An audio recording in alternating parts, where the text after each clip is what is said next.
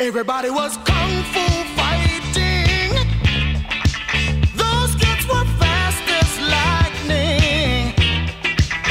In fact, it was a little bit frightening. But they fought with expert timing. There were funky Chinamen from funky Chinatown.